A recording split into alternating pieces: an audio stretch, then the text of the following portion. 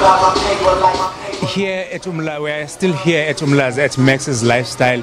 We are in the part that was just revamped by the provincial government and it was opened because after Max's Lifestyle was uh, ranked top restaurants in, amongst the top restaurants in the world. Uh, the provincial government also supported uh, this initiative. But next to me, there are people who are also attending the Max's Lifestyle. Thank you very much sir, for your time. Can you give us your name? Name is Richard Baker, Durban boy. Richard, why do you choose to come to Umlazi? What is it that you like specifically about Umlazi? Well, I think this is this is South Africa as as we should all experience it. I mean, uh, there's good food, there's good meat, there's good music, there's good there's good cold beers, and you've got to experience it. This this this is Africa. This is it. This is the vibe.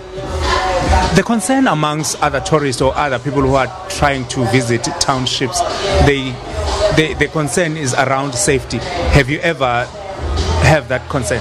I think it's it's it is a concern, but it's a it's a perception. And um, I personally, and a lot of my friends downstairs, we don't feel uh, uh, um, unsafe a- at all. There's good security at the at the door, and, and people welcome us here. So, though I think it's it's it's a it's, it's a concern, but it's a misunderstood concern, and it's a perception.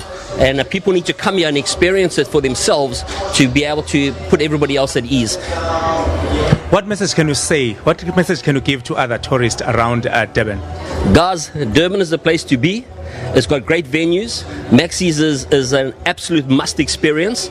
And guys, please come and support the local the local communities and support Durban as a whole. Have you ever been in other parts of uh, uh, townships in, in relation like Umla, uh, like uh, Kwamashu and Clermont? Because we understand that there are also parts that you can visit in those areas. Have you ever been there? Yes, I have been in Kwamashu. I live north of the Mgeni, so I'm familiar with Kwamashu. And yes, I have been there. Exactly the same vibe, great security, and I've never had any issues there either.